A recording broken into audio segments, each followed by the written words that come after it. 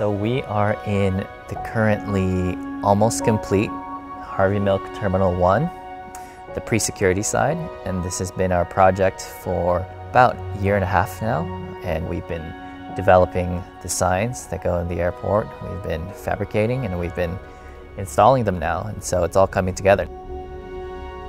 I always say that signage can often not be noticed unless it's either not there or it's poorly executed. So if you're walking through an airport and the signage is not well executed, you immediately notice that. You say, something is missing here.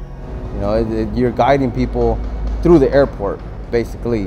If it wasn't for our signs, you know, then people would be more confused than they already are.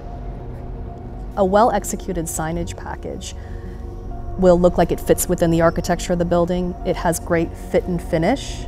And in addition, it is installed in a very safe and sound manner. This is secure. It is not coming out, it's not gonna hurt anybody. I take full responsibility and pride on what I do. The level of fit and finish that we're really looking for has to be represented in each and every sign that we install here at SFO. I personally know all the people who are building these signs for me. When you have that kind of relationship and then you work together at the same time, I think there's a level of respect and kind of just like, hey, maybe I'll take more time and, and we can explain things better so we both understand the overall context of what we're doing here.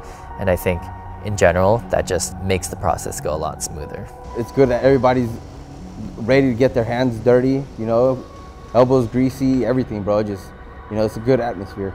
Our installation crew that helped us install the over 1,500 signs in this phase of construction are incredibly proud of all of the work that they've done.